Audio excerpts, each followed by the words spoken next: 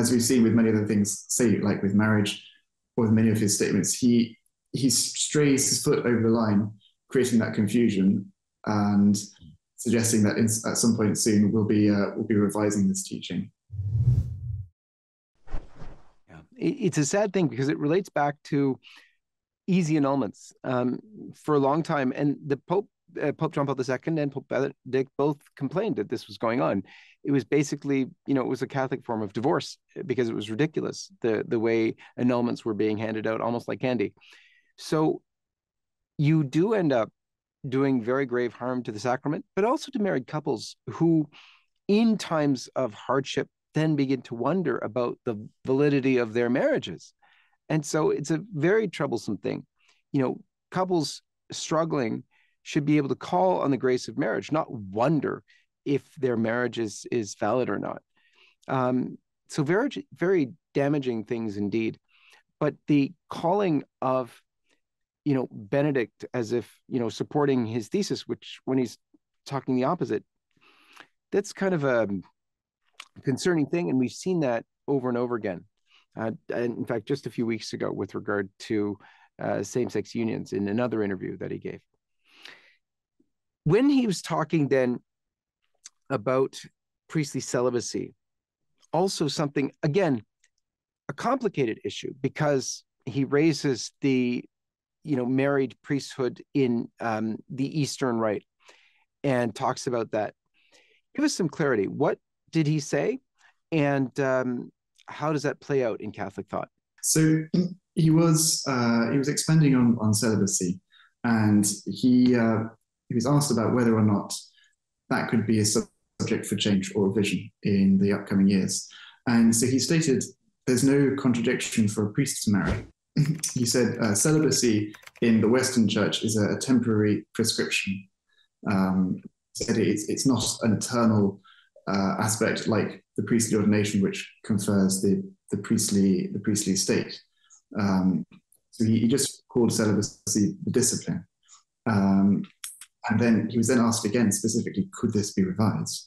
And he said, well, yeah. So um, it, he, he's, he's, mentioned this uh, a couple of times over the over the last few years.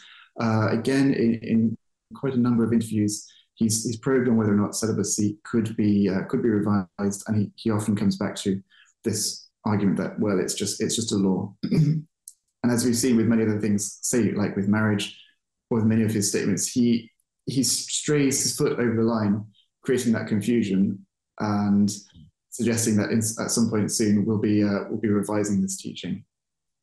Uh, but it's this is very very dangerous, particularly in light of, in, especially in light of the German Church, the synodal way, where you have very strong liberal forces who are arguing for for female deacons or for married priests or for um, for transsexual uh, uh, deacons or priests for Pope Francis then to to casually suggest that the the rule of celibacy is just you know something that could change at will or change as the church goes into a new age or not. Mm-hmm. So let's delve into that because in the Eastern Church, uh, it is permitted, which which he mentions, but there's some rules around that. Uh, in the Eastern Church, uh, it's the Catholic Church you can't get married if you're already a priest. You can, however, if already married, become a priest. So that's the way they have it in the Eastern Catholic churches, uh, in some of them. But you also cannot become a bishop if you are married. So there is a distinction there. They recognize still that the proper or best form is to conform yourself as a priest to Jesus Christ himself, who of course was unmarried. St. Paul says very clearly in the scriptures, I, uh, you know, uh, I wish that you were as me, in other words, celibate. And it is very clear from the church's perennial teaching that that is the superior way. It, you know, to give oneself um, in that way to the Lord is a higher calling.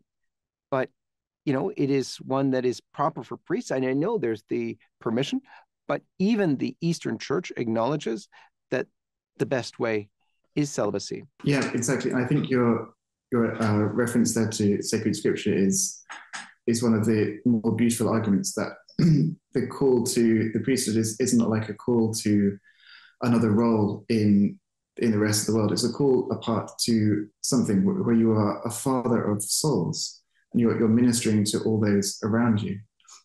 And very much so that, that involves, if it's to be Christ like, whose love was a sacrificial love, which involved him dying for us on the cross, the priesthood then has to imitate that Christ like love, which is sacrificial, which is um, a death to oneself and to the world.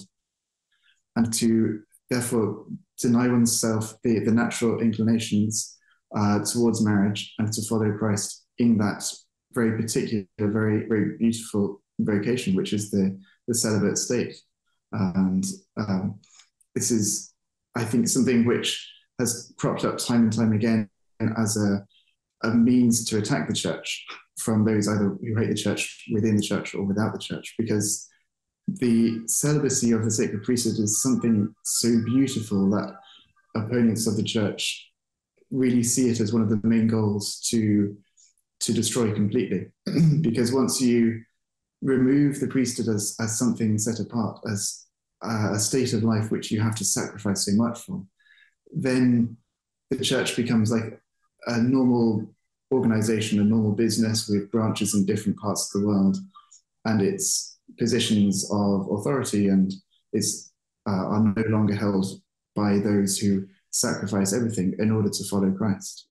Hi, everyone. This is John Henry Westen. We hope you enjoyed this program. To see more like it, be sure to hit the subscribe button below to get all the latest content from LifeSite News. Check the links in the description to read more and connect with us on social media so that you can stay up to date with all the latest life, family, faith, and freedom news. Thanks for watching, and may God bless you.